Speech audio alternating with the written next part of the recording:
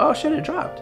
Yo, you trying to watch a new Bleach? Uh huh. Yeah, but give me a second. I'm setting it up. Oh yeah, you've been waiting for this. Oh, heads up, it's not on Crunchyroll. We gotta watch it on like Disney Plus or Hulu. Yeah, I, I know, but we're gonna watch it the right way. We're gonna watch it on YouTube. What? What do you do? How are you gonna do that? Easy. No, I downloaded the episode and I'm uploading it on YouTube in three parts.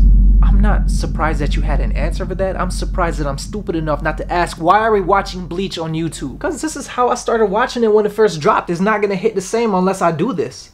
I, I don't understand. I don't expect you to. Nah, mm, you wouldn't get it. You don't.